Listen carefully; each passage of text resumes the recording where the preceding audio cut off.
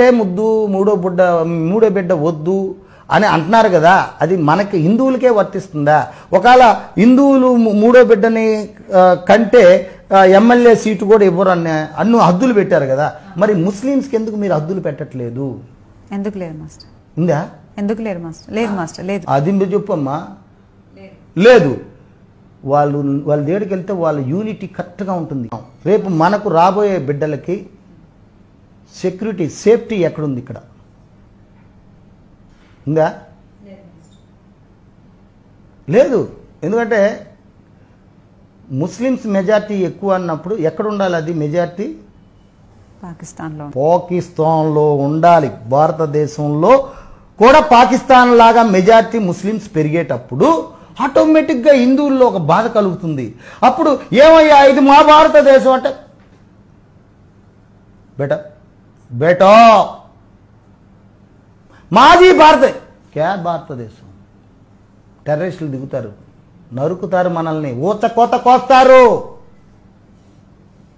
అప్పుడు మన భారతదేశంలో హిందూ తత్వం మంట గలిచిపోతుంది. రాబోయే రోజుల్లో సంక్రాంతి పండగ ఉండదు దీపావళి ఉండదు కార్తీక మాసం ఉండదు వినాయక చవితి ఉండదు ఉగాది ఉండదు. పాకిస్తాన్లో చేస్తారు వీళ్ళు వెళ్ళి? సంక్రాంతి పండుగ ఒకసారి టపాసులు గాలి మనం. అదే ఇక్కడ రంజాన్ చేయొచ్చు. బక్రీద్ చేయొచ్చు. పాకిస్తాన్లో చే ఉందా? చెప్పు. నేను ఒక ఒక ఒకటి రాసుకున్నా. ఎఫ్ టూ ఎఫ్బిలో మన భారతదేశం అంతెందు ఇది ప్రాణం లేని న్యాయ దేవత విగ్రహానికే కాదయ్యా కళ్ళకు గంతలు కట్టవలసినది. ప్రాణంతో మనిషి రూపంలో తల్లి చెల్లి అక్క అని తేడాలు లేకుండా నీచంగా ప్రవర్తిస్తున్న ఈ నర రూప రాక్షసుల్ని కోర్టు బోన్లో నించోపెట్టి భగవద్గీత మీద ప్రమాణం చేసి చెబుతున్నా. నేనంతా నిజమే చెబుతాను. అబద్ధాయ దేవత ఇట్టుంటుంది పాపం. ఇట్లా పట్టుకొని గొడ్డవాడు గట్టుంటారు ఆయనకేం ఏం తెలుసు? ప్రాణం ఉన్న జడ్జికి అన్నీ చూస్తూ ఉంటాడు. సాక్ష్యం ఇక్కడ లేదు. ఈడేం తప్పు చేయలేదని నాకు అనిపించింది. పో. నీకు ఉరి ఏం లేదు పో.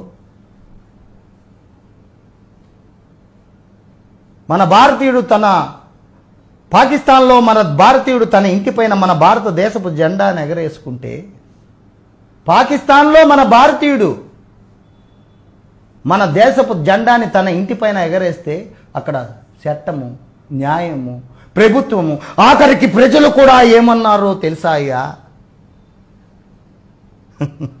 అతనికి ఉరి వెయ్యాలి అన్నారు. అక్కడ చట్టం అది ఇక్కడ ఉన్నవాడికి. చుట్టమై కూర్చుందయ్యా ఆ తల్లి అరే చూస్తే. భారతదేశ జెండాని పట్టుకొని థూ థూ నూసి చొప్పుతో కొట్టి కింద పెట్టి పెట్రోల్ పోసి కాల్చిందమ్మా. నా కళ్ళతో చూశాను. ఎక్కువ రోజులు లేవు. తస్మై జాగ్రత్త రాబోయే రోజులు వస్తున్నాయి. మన ముస్లిం సోదరులతో కూడా నేను ఇదే చెప్తున్నాను. మనం ఇక్కడ ఉప్పు తిన్నాం.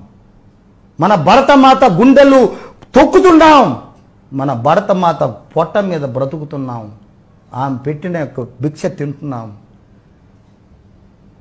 పన్నెండు నదులు జీవనదులు గంగా యమున కావేరి కృష్ణ గోదావరి. ఈ నీరంతా మనం తాగుతున్నాం. కానీ మన తల్లి రొమ్మునే పొడుస్తున్నాం గుద్దుతున్నాం. వద్దు. రాబోయే రోజుల్లో హిందువులు కనుమరుగు అవుతారు. ఇది మన భారతదేశం కనుక చెప్తున్నాను. నేను హిందువుగా చెప్తున్నాను. ముస్లిం సోదరులకు కూడా నేను అదే చెప్తున్నాను. ఇంతవరకు మనకు తెలియదు